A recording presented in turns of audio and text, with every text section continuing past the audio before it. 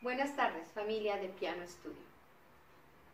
Es un placer para mí compartir hoy un momento para hablar del maravilloso mundo de la ópera. La ópera, con todas sus historias, con todos sus personajes, con todos sus cuentos, con toda su música maravillosa de todos los autores que han escrito, nos transporta y siempre nos lleva a unas experiencias maravillosas. Muy bien, pues hablaremos hoy de las tesituras, las tesituras de la voz, de, los, de las voces que suenan agudas, de las voces que suenan no tan agudas, que cantan pareciera cómodamente, y de las voces que suenan muy graves. Entonces, empecemos. Tesitura de la voz. La tesitura de la voz divide las voces de hombres y mujeres en tres tipos.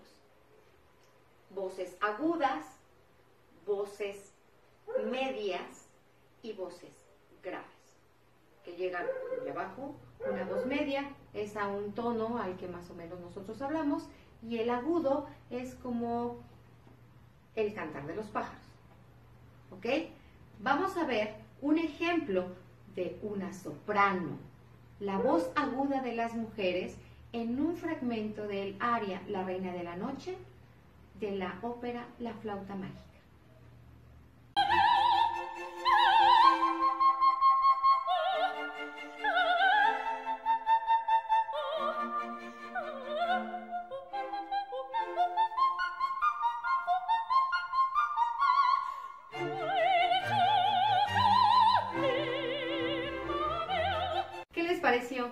Increíble las notas a las que llega, ¿no?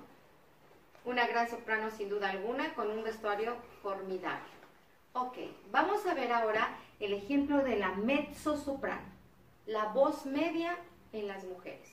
Mezzo soprano, medio soprano. Tiene un color de voz más grande, pero también llega a notas agudas. Vamos a escuchar un fragmento de la ópera Cenicienta con una gran mezzo soprano. Escuchemos.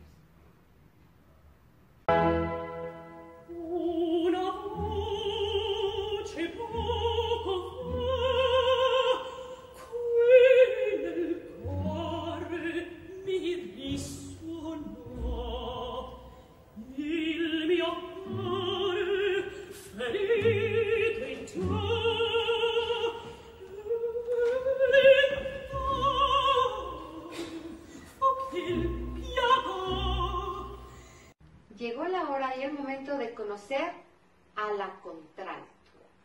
La contralto es una voz tan difícil de encontrar. Cuando escuchamos cantar a una contralto, se asemeja que estamos escuchando la voz de un hombre. Muy difícil encontrar este tipo de voces. Escuchemos el ejemplo de la contralto.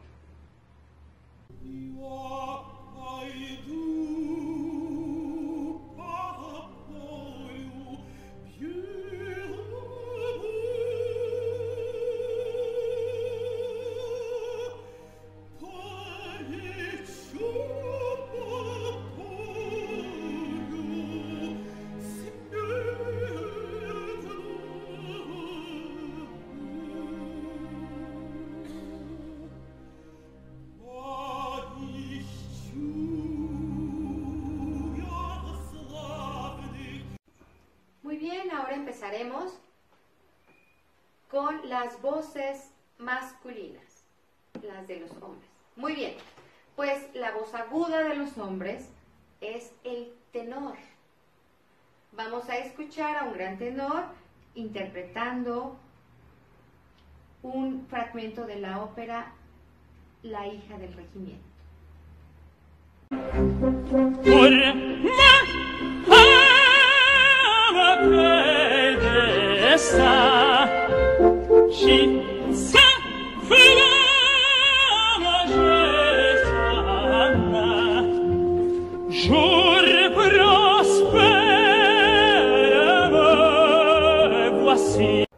Ahora toca conocer al barítono.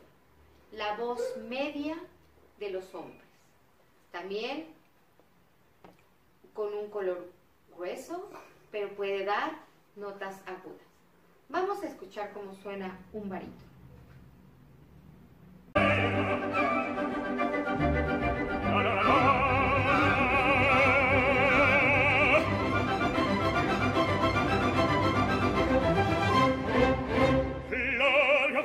delle città largo la la la la la la la la la resta battega che l'erba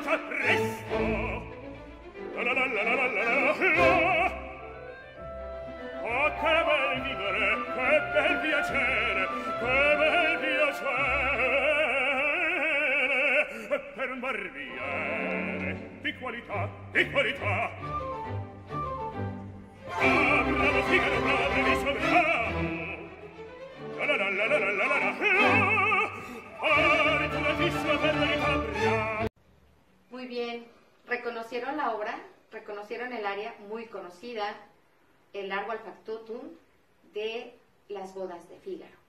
Muy bien, continuamos con la voz grave de los hombres, que es el bajo el papel del bajo en las óperas siempre, siempre, siempre representa o la, la maldad o la sabiduría o una persona que ya es de edad avanzada. Escuchemos cómo suena un bajo.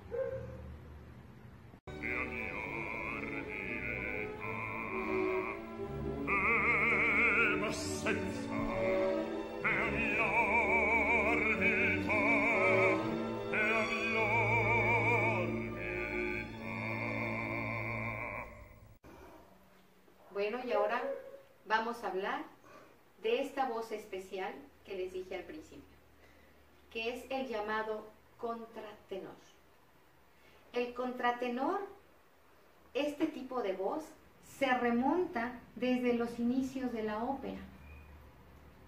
Es un hombre que llega más alto que un tenor y que canta, lo podemos decir, como una mujer llega a las notas y a los tonos que llega una soprano o una mezzo soprano. Vamos a escuchar ahora cómo suena esta voz tan peculiar.